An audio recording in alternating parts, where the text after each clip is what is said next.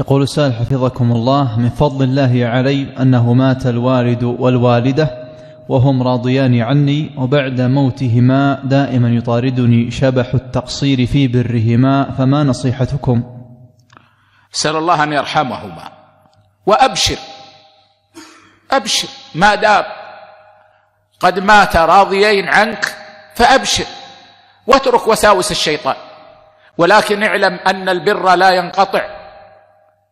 ادع لهما وأكثر من الدعاء لهما ولا تنسهما ابدا في دعائك وتصدق عنهما وكن ولدا صالحا اذا راك الناس دعوا لوالديك واترك وساوس الشيطان فان الشيطان لما فاته ان تعق والديك أراد أن يحزنك بعد موت والديك. فاترك الوساوس. واحمد الله أنهما قد مات راضيين عنك واجتهد في برهما بعد موتهما.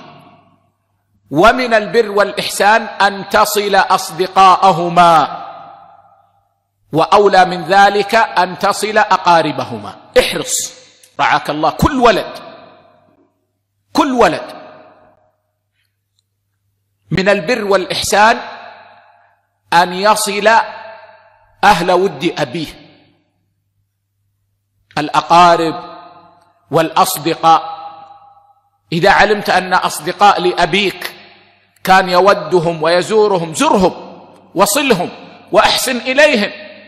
وإذا علمت أن هناك صديقات لأمك فأرسل إليهن الصدقة والإحسان والهدايا فإن هذا من أبر البر ويغفل عنه كثير من الأبناء. كثير من الأبناء يغفلون عن هذا البر. فاحرص. وستجد خيرا كثيرا إن شاء الله.